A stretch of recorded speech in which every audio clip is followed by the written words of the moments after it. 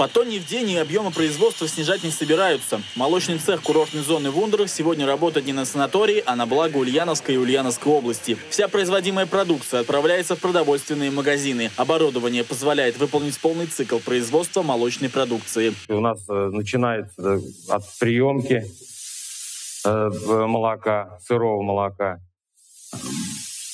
пастеризация, сепарация, нормализация, то есть э, резервуары для созревания продукции, холодильники для созревания российских сыров.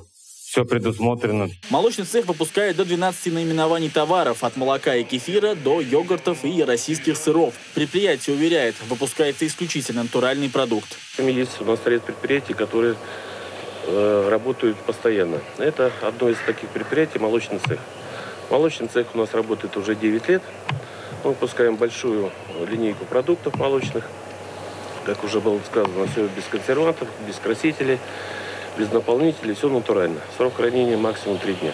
Молочный цех работает по всем правилам. На производстве сегодня только 20% от общего числа работников. Проверяется температура, регулярно проводится дезинфекция. Работники в средствах индивидуальной защиты. Максим Бажанов, репортер 73.